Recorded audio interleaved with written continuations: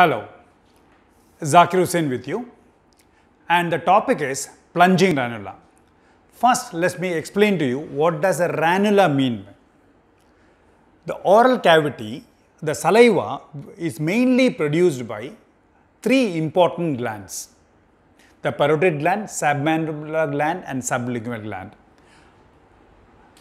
Other than these glands, you have so many uh, lakhs of mucin secreting small glands in the oral cavity. This mucin which is produced by these glands, it gives a coating inside the oral cavity and whatever food we take, it gives a coating on the food also so that it, it helps us in swallowing, the oral phase of swallowing. So, ranula it means that when this gland, mucin secreting gland, the mouth of the uh, gland or the duct is getting blocked. What happens is the secretion instead of coming in the oral cavity, it, uh, it gets blocked inside. So, what happens? It keeps on collecting just like uh, it look like a uh, balloon filled with water. It keeps on collecting, keeps on increasing. Such collection of uh, collection of mucin of a gland inside is called as a ranula. So same ranula which is there in the or in the floor of the mouth in this part here in the floor of the mouth floor of the mouth and instead of representing here it plunges down it it tracks down into the neck and represents in the upper part of the neck. So the, the ranula which is seen in the floor of the mouth instead of in the oral cavity it plunges down. This type of ranula is called as a plunging ranula. And usually it is seen between the age of 20 and 30 and it is seen only on one side.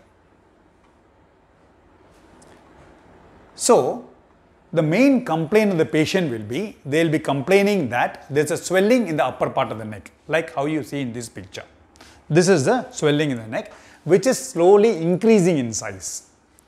Suppose if it, this gets infected, then they may have pain and there will be discoloration of the skin too. Suppose it is not infected, there will be a swelling in the upper part of the neck, which is slowly increasing in size. And suppose the same patient here they have a swelling in the oral cavity, in the floor of the mouth also and if it's bigger in size, they have problem in speech and they have problem in swallowing too.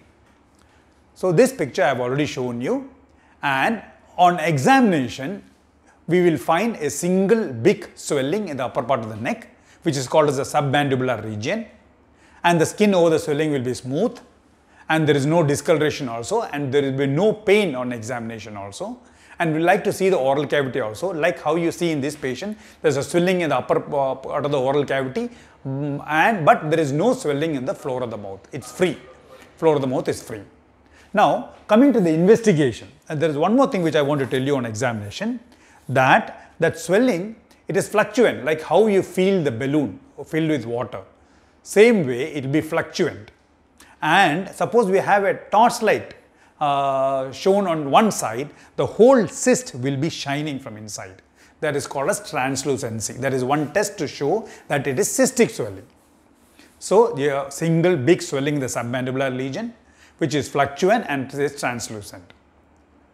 Now, uh, coming to the investigation. To start with, we would like to do uh, an ultrasound of the neck which shows a well-defined uh, uh lesion a cystic lesion which is seen in the sublingual and the submandibular space. Now, when you do a CT scan or a MRI, which MRI is much better, which you do a CT scan, this, these findings of the ultrasound can be reconfirmed. And suppose it is infected, then the total count, the blood count will be higher.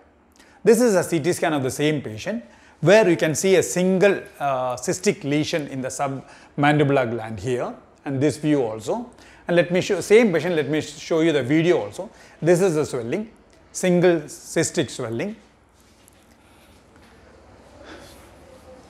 So this will be the finding.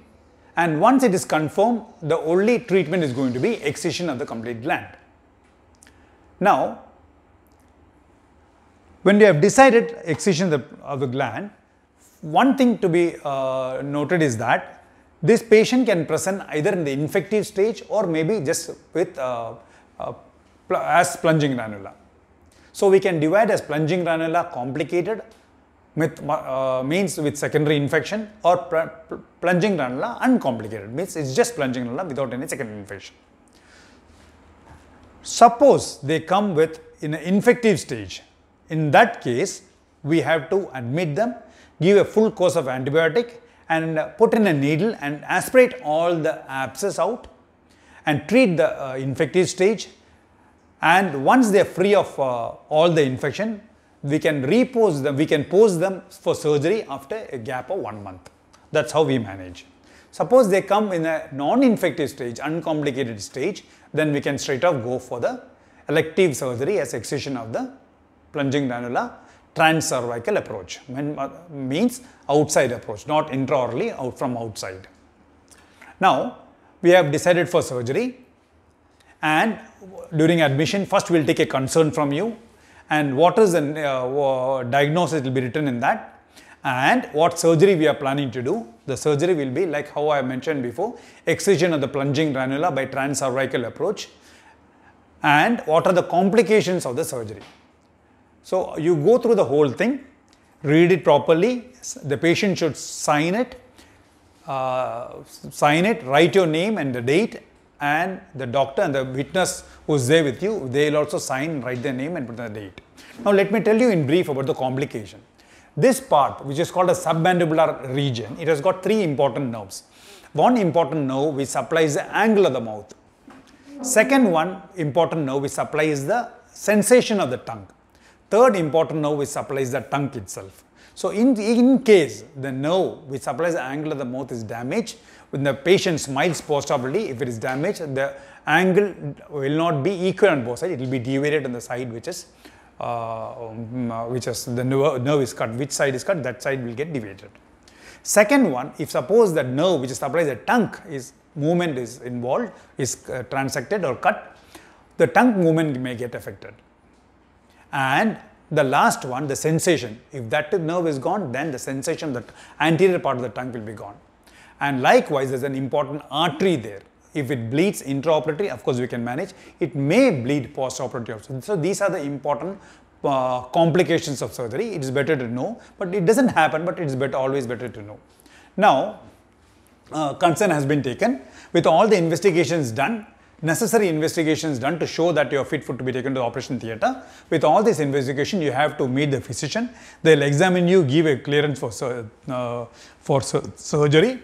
Likewise, you have to uh, meet the anesthetist. They will examine you and they'll give you a few advice and uh, they will give a clearance for anesthesia. So next day, uh, you are going to be posted as a selective case. So prior, one day prior, from midnight, you're not supposed to drink or eat anything. So next day surgery, approximately it takes about 2 to 2 and a half hours.